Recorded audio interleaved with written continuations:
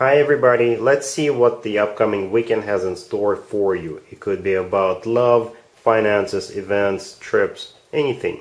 Please subscribe and hit the bell to get notified. Let's begin.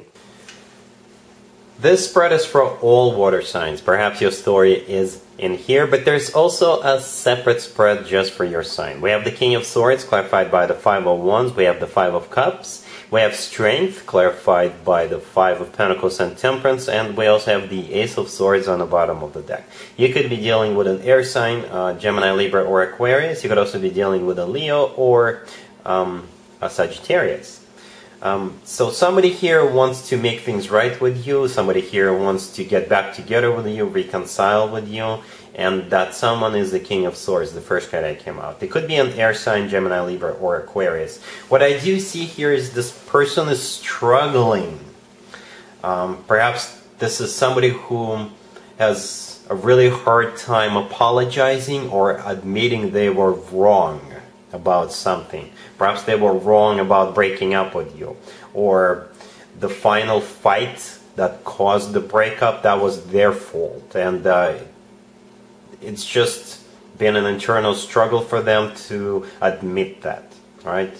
Um, but uh, this week, this weekend, um, they will finally overcome that and uh, they will come towards you with an apology. They will come towards with to you with an offer to get back together admitting that they were the one whose fault it was. Right? So the king of swords like i said it could be an air sign gemini libra or aquarius. We also have the ace of swords on the bottom of the deck all the way to your right. The ace of swords this is them i think admitting uh, that they did something wrong. The Ace of Swords could be uh, some sort of truth coming out, right? So the truth is that they were the one who was wrong. the Ace of Swords is also a brand new beginning with um, clean slate. So they will ask for forgiveness, they will ask for a second chance with you. But first, this person went through this process inside their head.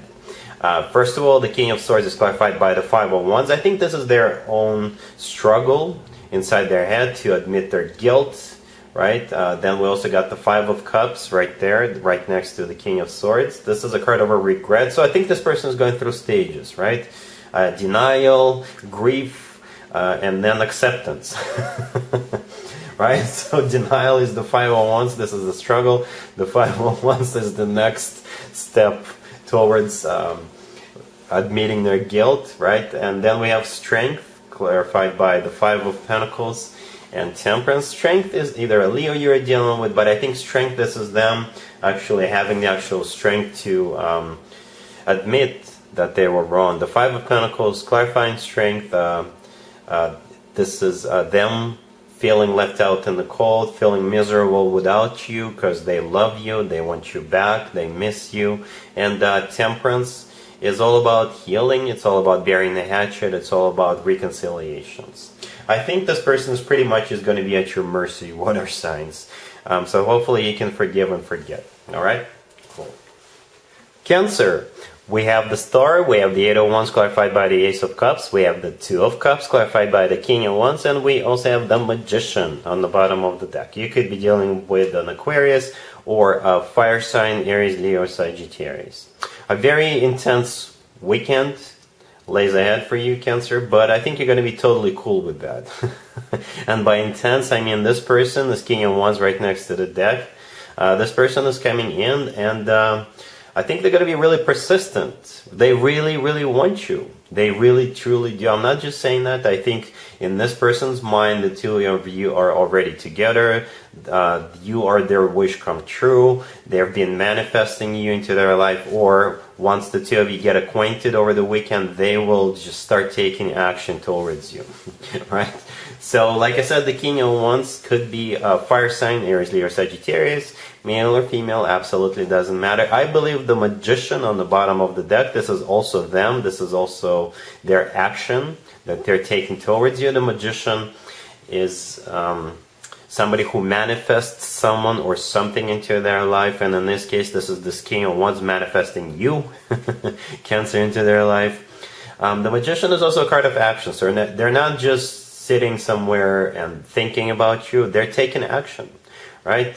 Uh, the star, the first card I came out uh, on the left, this is a card of um, an Aquarius. This person could be an Aquarius, by the way, if it's not a fire sign. Or in this particular spread, most likely the star is a card of a wish come true. So once the two of you get acquainted, uh, this person will immediately see you as their wish come true. As a matter of fact, this person is going to fall for you hard. Fall for you hard. The next card that came out is the Eight of Wands and it's clarified by the Ace of Cups. Right? The Eight of Wands is a card of communication. This is a card of Cupid's arrows. So like I said, this person is falling hard for you because behind the scenes there's this Cupid working on your behalf and striking this King of Wands with an arrow of love. Speaking of love, the Eight of Wands is clarified by the Ace of Cups. The Ace of Cups is one of the best cards when it comes to love. This is an offer coming from this King of Wands. The Ace of Cups is always about genuine, authentic love offers. And uh, I forgot to mention the Two of Cups that the King of Wands is clarifying. The Two of Cups is one of the best cards when it comes to love. This is a card of a soulmate connection. This is a card of unconditional love. And uh, it's a card of two people being on the same page and the feelings they have for each other are mutual, right? So this person is in heart pursuit after you, um, Cancer, I, and uh, I think you're gonna like it. I think you're gonna like what this person has to offer, the way they court you, the way they approach you, the things they do for you, the things they say. Um, and um, hopefully the two of you can move forward together. All right? Scorpio, we have the Wheel of Fortune, we have the Fool, we have Strength, and we also have the Ace of Pentacles on the bottom of the deck. You could be dealing with a Leo or pretty much any sign. This is a general reading. We got three major Arcana cards on the table and the Ace of Pentacles on the bottom of the deck. It's it's amazing, Scorpio. There is a new beginning for you there's definitely a new beginning for you. It could be um, love related, but it could also be related to uh, work, business, and finances in some shape or form. So the Ace of Pentacles on the bottom of the deck all the way right. This is um, a golden opportunity. It could be um, an offer to start a new job, to start a new business together, or it could be you envisioning something in the future. If you're thinking about starting a new a new business by yourself, you are going to see that it's going to pay off with the Ace of Pentacles. This new beginning is a golden opportunity with a very long-term potential here, right? Um, for others of you, the Ace of Pentacles could be coming from somebody and it could be love related. The Ace of Pentacles is still a golden opportunity. Um, whenever I see the Ace of Pentacles, that means that the person making the offer is serious. They're ready to settle down. They're ready to start a family. They're thinking long term, right? And uh, you're taking a plunge. You are moving ahead with this offer, with this opportunity. Strength, right next to the deck, is the personal Leo card. You could be dealing with a Leo. Or strength is you having the actual strength to move forward. Perhaps you have uh, some fears about this new beginning or about this particular person, but you're going to overcome it. Strength is all about passion as well, so you're going to get really passionate about it.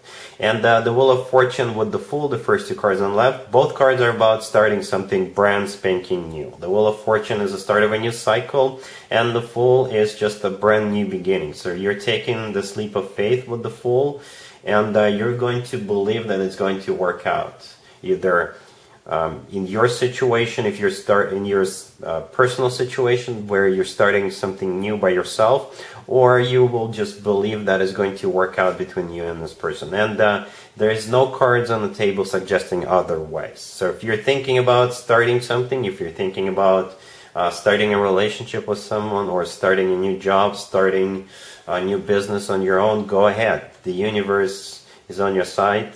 The spread is a huge green light. All right, cool. Pisces, we have the Magician clarified by the Emperor. We have uh, the Hierophant. We have the Hangman clarified by the Fool, and we also have the Queen of Cups on the bottom of the deck. You could be dealing with an Aries or a Taurus or another uh, water sign, Cancer, Scorpio, or another Pisces. Well, um, we've got five major Arcana cards on the table. Pisces, and we also have the Queen of Cups on the bottom of the deck, and I believe the Queen of Cups is you.